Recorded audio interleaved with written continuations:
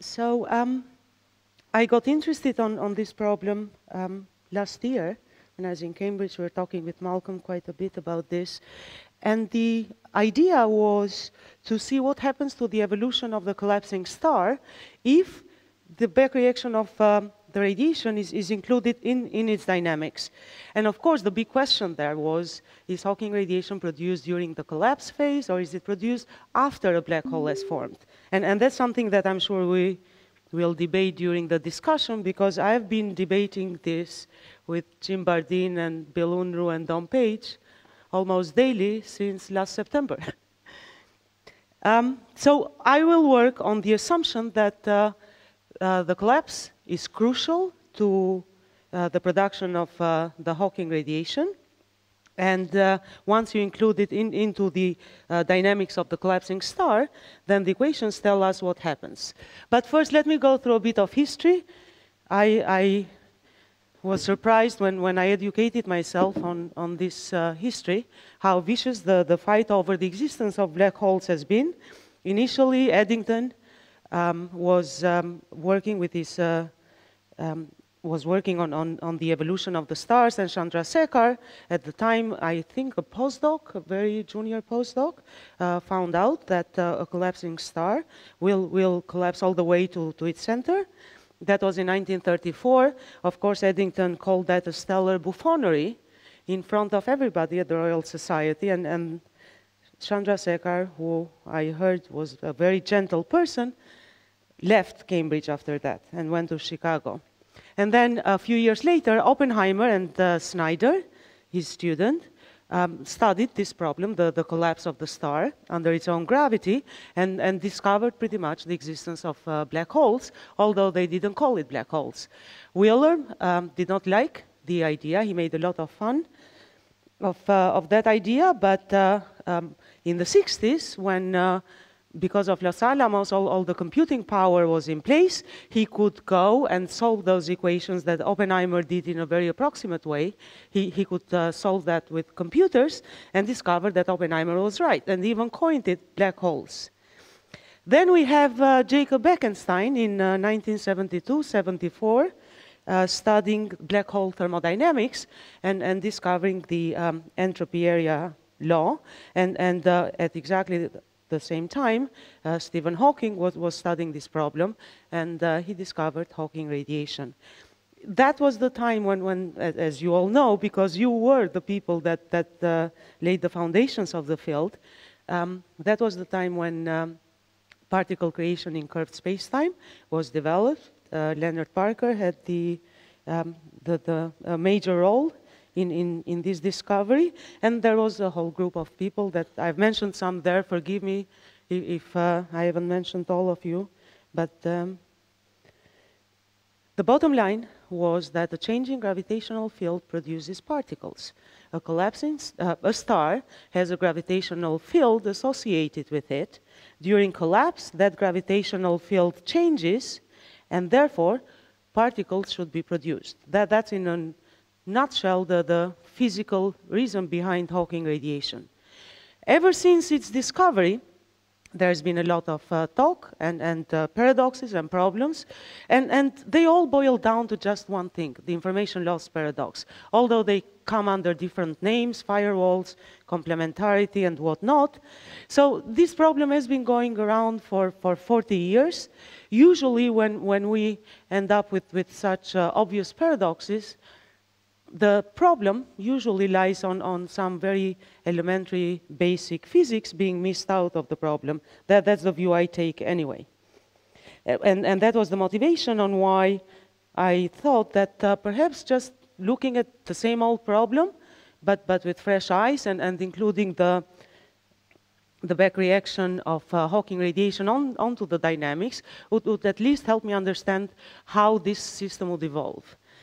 You, you all are familiar with the information loss paradox and, and uh, the firewall it around a uh, black hole, which is pretty much due to the entanglement of the pair of particles created. One goes in, the other one goes out. We could obtain information that way, but the price to pay is that the energy produced by breaking this entanglement would create a firewall. And of course, we know we don't observe firewalls in, in, uh, around any stars. So something is awfully wrong. Back to the problem of the origin of Hawking radiation. So this was probably the easiest, most uh, straightforward way of, of looking at this problem. If Hawking radiation is produced, if particle creation, I should say, because it becomes Hawking radiation once it goes far away from, from the star and onto future infinity, if we sit with a detector there, we measure Hawking radiation. But if particle creation is occurring during the time that the star collapses, then the, the most straightforward way to look at it is to, to ask, well, how does that affect the dynamics of the collapsing star? Taking the view that I advocated at the beginning, and I don't know how to make this work.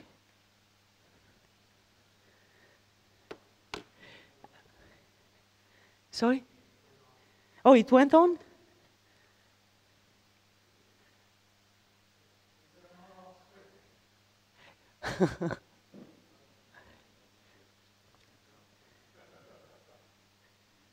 Ah, okay. Now it's on. Okay. so the, the view that um, particle creation occurs during the collapse stage, which is this part here, that, that would be the surface of the star, um, com comes from, from, um, uh, from the argument that uh, one needs the changing gravitational field uh, in order to produce particles. And, and um, we, we can discuss more later, but uh, um, as I am now familiar by talking with Don Page and Bill Unruh, they, they, their people can bring the, the example of uh, the Schwinger pair creation, where we have a constant electric field that produces particles. That is true. But in fact, this, this effect of particle creation is based, it's very, very similar, very analogous to, to that pair creation by a constant electric field. In, in, fact, it's identical. It is true one can produce particles with a constant electric field, but the potential one gets out of that constant electric field, which is what, what determines particle creation, is space-time dependent. So even for the Schwinger pair production, one does have a changing gravitation, uh, a changing potential, and, and obtains uh, pairs of particles created at the end. Another reason I can give in, in favor of this view that uh, particles have to be created during, during the um, collapse of the star, and most of them are created very, very uh, near the horizon, just as about the star is, is about to produce, uh, to cross the horizon. But we can see from the Penrose diagram of the star that the very last, if we think of incoming and outgoing waves, null rays, the, the very last one to make it to future infinity, to Scri plus, will be the one where the, the surface of the star is just about to cross the horizon. And there, if we sit at Scri Plus and, and expect to, to receive any more photons after that, that, that's not possible. One can argue against that as well and say, well, if we go to such and such coordinates, say Kruskal or um, other Eddington-Finkelstein coordinates, we, we might be able to distort this picture and, and see something come out even after the horizon has crossed. And this is a very important point. The, the rest is just mathematics, that, that anyone can sit down one afternoon, write down Einstein equations, plus the energy conservations, plug them into a computer and get the answer. But the key is this part. Do we have the radiation to include in, into the evolution of the star before the singularity exists or after the singularity exists? If it's after, then this approach doesn't work. It fails. Once the singularity is there, nothing can undo it. But if this radiation is back reacting on the star before there is a collapse to singularity and before the star crosses the horizon, then, then there is hope that um, the singularity can be stopped. The, the collapse all the way to the center can be stopped. The argument, and, and I've got all these arguments thanks to Jim, and uh, uh, Don Page and, and Bill Unruh, all, all, the fights we have had for the last few months. But um, the, the argument, the strongest argument, I think would be the fact that we associate an entropy and the temperature with the black hole and the thermal spectrum that determines the temperature of that black hole of the horizon. If radiation is not produced before this star crosses the horizon, then I really do not understand why we can associate a temperature with that horizon and a thermal spectrum with that horizon or even a surface gravity with that horizon. If this radiation is produced after the black hole has formed, and then even being produced, it will take a long time to thermalize and, and um, give us the, the thermal spectrum, then up until that happens, it doesn't make sense to talk of a temperature of the horizon because the radiation is not there yet. Yeah.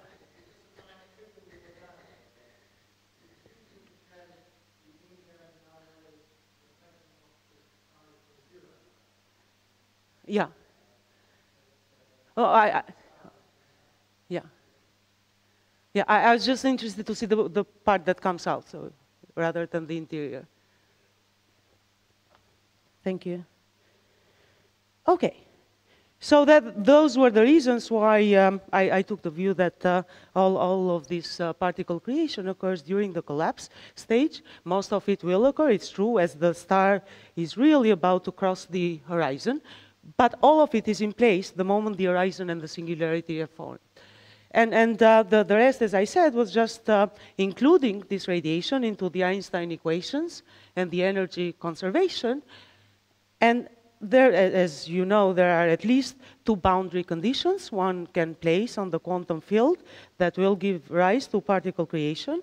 I, I took two popular ones to study this problem. One is the Hartle-Hawking condition in the far past. It, it's a very idealized way of looking at the problem, but it was easy to handle analytically. And, and before going into more sophisticated uh, numerical techniques, I, I wanted to to have a handle on, on the problem analytically. The, the problem with the Hartle-Hawking uh, condition is that it's a symmetric uh, solution. The, the thermal bath of radiation is always there in the far past and the far future. So that in that sense, it's very idealistic. But I, will show the solutions for both, for the Hartle-Hawking and the Unruh uh, boundary condition. The Unruh bound, uh, boundary condition gives rise to an asymmetric situation. The condition says there is nothing in the far past, but there is a flux of particles that makes its way to future infinity. And, and that's the Hawking flux of radiation. So let, let me start with the simple one that can be handled analytically, uh, the Hartle-Hawking, and then I'll show the numerical results for the Unruh. Yeah.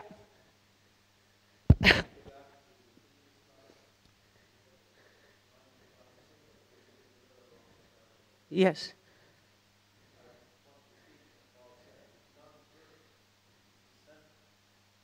No, if you wanted to model the time dependence of the collapse, this problem would be identical to putting a mirror on the surface of the star and studying it as a...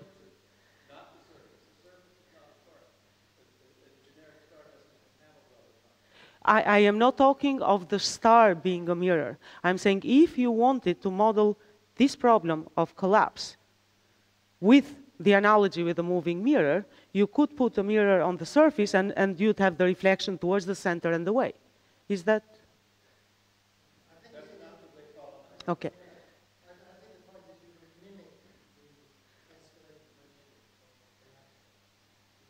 Exactly. Yeah. Yeah. Yeah. Yeah. That, that's exactly what I meant, yeah. Yeah. So analogy in the sense of mimicking the time dependence of the collapse. Steve says the, mirror plays the role of the center of not, not really the surface of the star. Okay. Okay. I think one issue is that the moving mirror analogy, you're accelerating the mirror while the surface of the star, the star is in free fall, is not accelerating. so uh, mm-hmm. the trajectories for a moving mirror that mimic Hawking radiation do not behave like the surface of the star. Uh, but yeah, I was referring to the um, uh, analogy, the, the mimicking of the behavior with the hyperbolic tench motion of the mirror that produces exactly the right expression for Hawking radiation. It's, um, in this problem, it, it's relevant because it can be handled analytically. In, it, it's a very simplified problem, so it can be handled exactly. Anyway, in the um, interior of the star, normally, the metric would have a lapse and they, um, so it, the, the, metric would be quite complicated. You'd expect, a, a um, due to the collapse, a time and radius dependence on, on both these functions, phi and, and lambda. Capital R is the area radius, and omega is the solid angle. In the exterior, for, for, for the very simple solution in the Hartle-Hawking uh, thermal radiation bath, uh, we considered a uh, Schwarzschild solution, when in reality we know this is an object that is radiating, so the solution to Einstein equation should not be Schwarzschild. Schwarzschild is a vacuum solution, it should be a non-vacuum solution. So normally one could look at the Vaidya metric or something more complicated.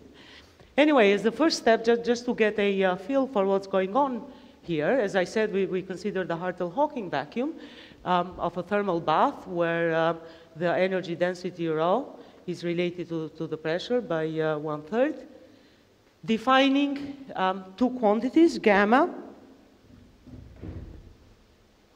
as, as the radius derivative of the area radius, and u would be the stellar uh, material uh, velocity defined by, by uh, this capital DTR, where capital D's uh, denote covariant derivatives. I've defined them here.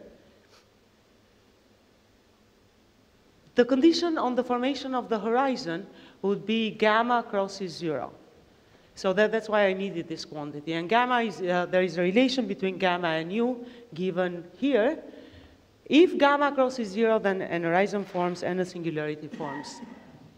So it, once we are at this stage, all we have to do is just think of the interior of the star as a closed Friedmann-Robertson-Walker universe. Take the Schwarzschild outside, although as I said, it is not um, a vacuum solution outside, but, but the radiation is small enough that we can think of a Schwarzschild metric, and just match at the surface of the mirror, match the two solutions at the surface of the mirror. The, the important quantity here in this closed FRW metric is this A of tau, which is a uh, scale factor for, for the interior metric. That will be the, the crucial one that uh, I can use to show that there are no horizons. As I described the steps, once we match the exterior and the interior metric, and in the interior we include, we include the um, uh, Hawking radiation, not just the stellar material. In this very simple setup, I, I took the stellar material to be dust. And, and in, some sense, that, that's the worst scenario one can consider because dust would be in free fall. So if you can stop the collapse of dust, anything else would probably be easier to stop. So including the negative energy of uh, this Hawking radiation in the interior of, uh, of the star means that now we can solve all the equations and find out what happens to, to the interior metric of the star. As I mentioned before, A is the scale factor for this closed Friedmann-Robertson-Walker universe inside the star. It obeys a Friedmann type equation. So minus 1 over a squared is the fact that the curvature of the star, so that's the curvature term, rho naught is the energy density of the stellar material itself. Since it's matter, it goes as 1 over a cubed. And the last term would be the negative energy Hawking radiation going inside. And since we are in the Hartle-Hawking, where this thermal bath is always there and this radiation is already thermalized, then this term goes as 1 over a to the fourth. a dot equals 0 would indicate that the star changes behavior from collapse to something else. So as, as, can be seen from, from this equation, there always exists a solution of a dot equals 0. All we have to do to, to figure it out is to, to just put the Friedmann equation equal to zero and, and find out where that bounce of the star appears. A was, was the scale factor of, of the uh, interior metric of the star. And we know the star is collapsing. If A dot becomes zero, it means that the star has bounced, it's gone from collapse to turned around to, to an expansion. So that, that was the, the first, and, and one, of course, from this equation can even figure out at what radius the, the bounce occurs. It's incredibly small radius, is the ratio of the Hawking radiation divided by the energy density of the star, but it's still telling me that um, this object does not collapse all the way to zero. Something happens as it gets close to the singularity that, that makes the star bounce. One, one can go even further and, and look at the condition on, on uh, the horizon formation, which, which uh, would be uh, gamma crossing zero. Since we have an expression for gamma and, and the set of uh, simple equations, just um, solving that equation and, and the motion of the, uh, of the stellar material shows that gamma never crosses zero. So a trapped surface never forms in, in this situation. And the reason is because of uh, the stellar material velocity u having this extra term, the contribution from uh, Hawking radiation in the interior of the star. And, and that prevents the star, no matter how small the radius is, it, it will eventually dominate over the other terms and prevent the star from uh, creating a trapped surface. So the next stage was to, since that looked promising, the next stage was to go to a more um, sophisticated setup, have a more um, real solution, which would be including the uh, Unruh boundary condition and, and looking at a Hawking flux rather than a Hawking thermal bath of radiation. And, and that is more difficult to solve by hand. In fact, it's impossible to solve by hand. So Harald Pfeiffer joined and uh, he did all the numerical work. Whoops. So what's going on in this case? Well, we, we set up the Unruh condition in the far past on the quantum field. Based on, on the pair creation picture, then there is an outgoing, as the star is collapsing, there is an outgoing flux of positive energy particles making its way all the way to future infinity. And, and Whoever is sitting there with a detector says they have observed Hawking radiation, but then the partner on this pair creation, the negative energy partner, the there is an ingoing flux of negative energy making its way towards the center of the star. So in, in a um, approximate way, we approximated the, the stress energy tensor tau AB of, of this ingoing flux of radiation in, in a very simple manner. As, as um, the uh, Hawking radiation flux Q of H uh, times Ki, Kb, where those are the ingoing null vectors. The star itself we took uh, to be made of dust again. So in, in that case, the uh, stress energy tensor of, of the stellar material is this capital T, AB, and it is simply given, uh, n is the number of baryons in the star, E is the internal energy per baryon, and UA is the four velocity of the stellar material. Once we have the two ingredients, the stress energy tensor for the star, as well as for the radiation going inside the star, then, then the rest is just uh, Einstein equations, GAB equal 8 pi TAB total, and energy conservation equation, where the total energy density, uh, the total stress energy tensor should be covariantly conserved. There is also a baryon number conservation there, which is this third equation. And this is it. This is the set of uh, equations that uh, can be solved analytically to tell us what the answer is. And I copied the, the three compact set of equations in the previous slide. These ones here are explicitly written here. So the metric now is, is uh, taken to be of this Vaidya form with, with the lapse function and uh, uh, lambda both being a function of R and T. The ingoing radiation stress energy tensor is explicitly given here. Uh, the stellar fluid stress energy tensor is the typical um, ideal fluid, but we, since we're talking of dust, then the pressure term is zero. So the second term in brackets drops out, and the total uh, stress energy tensor is the sum of the two, star plus radiation. This is the set of equations that one needs to solve. The top ones are the Einstein equations with the Hawking radiation included. QH is the um, energy flux of Hawking radiation. Uh, capital U is the uh, velocity of the stellar fluid. Little n is the baryon number in the star. L, the luminosity of radiation, is not something we fix by hand. It, it's a variable one solves for that, that enters the Einstein equations. There are two auxiliary, uh, auxiliary uh, equations. The change of mass, of, of the star's mass with respect to area radius, and the change of phi of this Lebesgue function here, which is pretty much like a gravitational potential uh, with respect to the area radius. One, this set is, is, just a set of, of, Einstein and energy conservation equations, uh, four Einstein equations and two energy, um, stress energy tensor conservation, the, the pressure and the energy components of, of uh, that conservation law. All of those can, are, are derived. That, that's a set of equations. There is only one input there, and it is this capital C. And that is the rate of transfer of energy from radiation onto the stellar material. That we don't know. We, we had to make up a function, of course, by, by putting certain constraints such that the radiation has to be, sorry, uh, absorbed fast enough in order to produce the right expression for Hawking radiation at future infinity.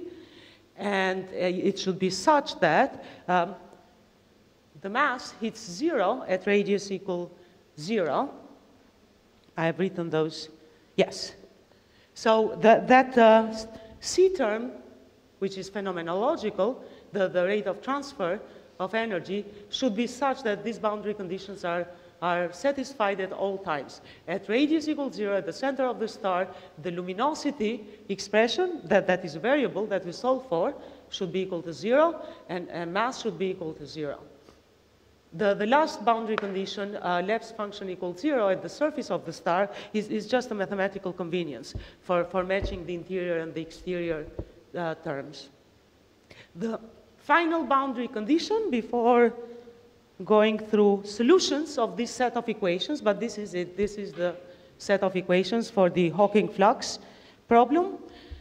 The, the final boundary condition, which is the most important one, is the uh, luminosity of this radiation that is crossing, as you know, I mean, particle creation occurs somewhere outside the star. It, it's, it's a vacuum pair creation uh, by gravitational fields. So one partner in this pair makes its way through the surface towards the center of the star. And that's the part we are interested in, what's happening in the interior of the star. So we, we had to set boundary conditions on the surface of the star for, for this flux of radiation that, that is crossing the surface to make its way in. And, and the boundary condition was, was uh, uh, simply based uh, by, by, by the geometric setup of the problem. So that, that was the boundary used. Uh, a very important quantity in this setup is this theta parameter, is the expansion parameter. If theta becomes zero, it's like gamma before in, in the easier setup. If theta becomes zero, that means that the trapped surface has formed.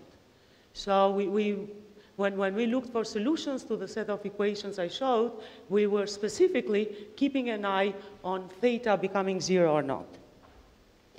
Findings, which are all plots because everything was solved numerically. The first one that really surprised me, and, and I still don't quite understand the reason why that is the case. It could be that our choice of, of that parameter C, of the rate of transfer, just accidentally happened to be a very special choice. So it, that could be the reason. We, we can blame that on the choice of C. Or perhaps there is some physical reason behind this. But, but the first finding is that the surface luminosity of this star, once it has uh, gone through collapse, but not hit zero yet, not, not hit the center yet. So at, at, after it bounces, basically, um, the luminosity of those stars is a constant, independent of mass and independent of radius. and is the Planck luminosity. So it's a constant of nature, and is a classical quantity given by G and C. That I, even now I, I don't understand. We, we tried, I've shown uh, three there, uh, mass equal four, uh, mass equal in Planck units, mass equal 8, mass equal 16, when the radius of the star starts from 10 times the mass of the star all the way to getting close to twice the mass. But, um, and, and in reality, although they are not shown here, we tried even mass equal 80, although the, the program started slowing down quite significantly. But even with mass 80, this result persisted, that these stars would shine after they had bounced, they, they would have this uh, uh, Planck luminosity at the surface. Now let me show the rest of the results. The top one, which is the most important one, is u as a function of time. u is the fluid velocity as a function of time. As you can see, it starts collapse, collapse, collapse. Going negative means collapse. And then as it's getting close to the center, it bounces. It changes behavior as shown in those purple lines. It starts decreasing, going less negative, less negative, until it's positive. And at that point, that's the tantalizing bit, the program breaks down. So I don't know what happens to the star after it bounces. Is there a core, a dead star left behind that looks like, for all practical purposes from the outside, it's just some massive dead star, but with no singularity, so it would look the same as, as black holes would look, except that it doesn't have the horizon and the singularity, or is this star exploding? I don't know the answer because I don't know what happens to the acceleration and the velocity of the stellar fluid after it's bounced. The, the program just kept breaking down, so maybe we need a, a more sophisticated program for that. But that, this is, that, that is clearly the turnaround behavior from accelerated collapse to decelerating to completely turning around. And then we looked at the radius of the star. The dash blue line there would be the Oppenheimer-Snyder. That, that was our uh, gold standard measurement to, to everything that, that we were checking, different masses and radiuses of the stars. So normally, and, and also the consistency of our equations, normally the, um, in the Oppenheimer-Snyder uh, type of uh, solution, black hole solution, for a star made of dust, as you can see here in the enlarged part, the star would collapse. It would, the, the red line there is the uh, Schwarzschild surface. So the star would continue collapsing. The star would cross the Schwarzschild for, uh, surface, and it would collapse all the way to zero. In our case, now the red line here is not the horizon anymore, is the surface of the star. And we took m equals 16 for this plot to, to generate this uh, graph. And as you can see, for most of the time, our system is collapsing very similarly to the Oppenheimer-Snyder. So the, the, collapse is going on, although there, there is some radiation making its way through. But as we get very close to, to the star's surface, uh, to the star's horizon, then somehow the radius of this star never becomes equal to 2m, so this star never crosses the horizon. Somehow it, it's just hovering above the horizon. Nora, Yeah. um, when it bounces, what is its mass? How much is it lost? Uh, half. And, and the mass is here. Uh, I'm showing for, for the same set of plots, the, the mass is there. Is that exactly a half or just sort of numerically? What comes out? When you, it's half its mass away and then bounces. So uh, R equal to m is the red line there, and, and this plot only corresponds to, to a star with mass 4 in, in Planck units. And, and we are solving for mass as a function of space and time of r and t from, from those equations. So you can see the behavior of the mass going halfway down just before. Try and visualize what this entity would be if it started out as a ball of baryons, it swallowed a lot of negative energy, and now it's bounced. Is it going to be anything I, I don't know because that, that, that's the annoying part. That's where the program breaks down is look how close after you have bounced. It's this point here. So I can't tell. It's, uh, maybe it will just blow up into pieces, but I, I think, and I kept pushing Harald, but uh, M equal 80, for example, took a good four hours to, to just get this plot. You know, all the Yeah, yeah, yeah. But it, it looks like almost you have a dead object. It, it looks like you have the star there, but it never makes it to R equal to M. I suppose I'm, I'm just trying to say that if you've accumulated a lot of negative energy, like half, Yeah. how does that, in what physical form does that manifest itself after balance? Well, you know, we sent a physicist there with a whole lot of equipment. Yes. But, but there, there is a rate of transfer of energy from radiation to the star. So that, that radiation, which is, uh, I mean, we, we don't know yet. That, that's something that, that needs to be calculated. At, last year, I didn't have that calculation. What, what exactly the distribution of, of this radiation should be inside the star. So we, we approximated uh, that radiation with just something that goes with the speed of light inside the star negative. and uniformly distributed. That's my point. that You've got something that's got n baryons, the same number as what you get. Yeah, yeah, yeah. It's got minus a lot of energy from the incoming. And there is a transfer, there is a crosstalk between the baryon, the, the material, and the radiation. Right, so, so I'm, I'm not sort of questioning your Mhm. calculation, just trying to envisage what the nature of the object might be. If it's, if the baryon number is conserved, and yet its negative energy is all scooped up in it and accumulated, Mhm. how, what the nature of the object might be, if it's a mixture of baryons and negative energy, what would we recognize it if we saw it? What, what, uh, what was the local properties? If you went there and, uh, Yeah, what, what might you expect to find? that is. Sort of curious. No, that, that's, uh, yeah, I understand the question.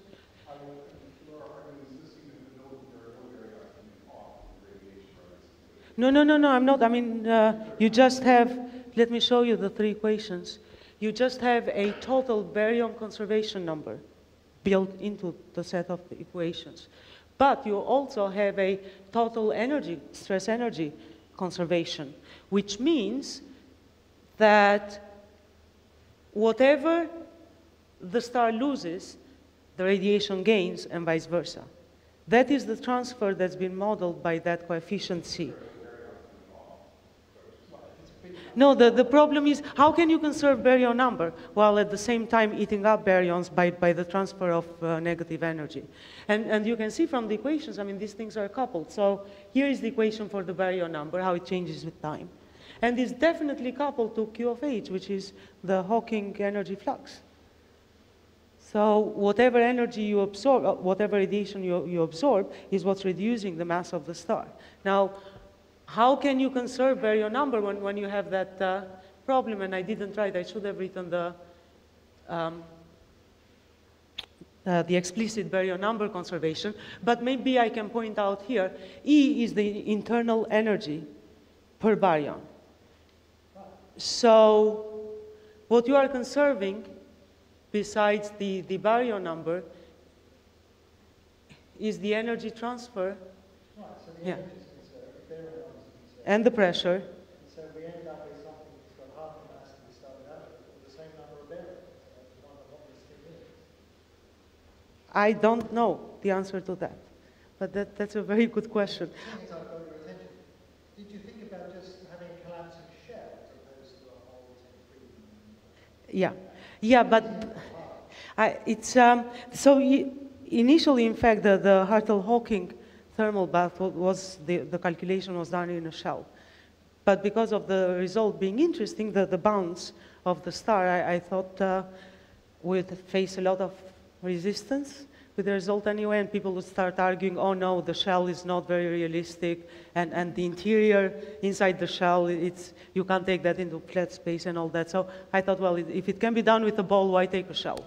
My, my feeling is always the simplest thing that you can uh, work with and demonstrates the technical Yeah. But um, the, the thing I'm, I mean, to, to me, and, and that, that's something I, I was giving a similar talk. I didn't have the numerical results a year ago, but uh, um, I had the Hartle-Hawking um, semi-analytical approach, and, and I was talking to Jacob last summer, and, and he was right in, and, and, and that's an outstanding problem that still remains. We can't really be completely conclusive, even with this set of equations that are solved exactly, if we don't know what, what's the distribution of the stress energy tensor of radiation inside the star. And I, I know it can be done in two dimensions, that, that's something we've been looking at, but nobody has done it yet, so. But if you've got your super duper numerical calculations, don't do this up on your It's, uh, yeah, it, it's pretty hard. So even in this approach, I, the, the biggest approximation there is to say, well, this radiation is, is just going with the speed of light inside, when, when in fact there will definitely be a distribution inside that will determine. You, you can have shell crossing if, uh, if there is a distribution, which, which is space-time dependent. It seems to me that after all these years, somebody will just do that. Absolutely. We'll do it this week, all of us.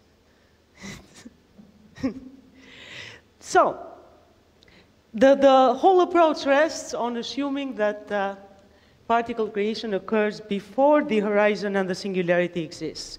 If that is correct, which we can debate today and, and during the week, then it, it is sufficient to stop the collapse of the star to singularity. The star will collapse for most of the time, but it won't make its way all the way to singularity, so there will be no horizon and no singularity. Otherwise, with, with these preliminary findings, it looks like the star looks the same as, as what uh, the original black hole would have looked like. It, it's just some very heavy object with a very powerful uh, gravitational field, but it simply does not have a uh, singularity in the center, and it doesn't have an horizon. If it's correct, then um, there won't be an information loss problem, because without singularities, we don't have the information loss. Whether it's correct or not, we will find out in one year because of the experiment that is looking for horizons. So if that experiment finds an horizon, then, then we'll know for sure that there are black holes or not. Thank you.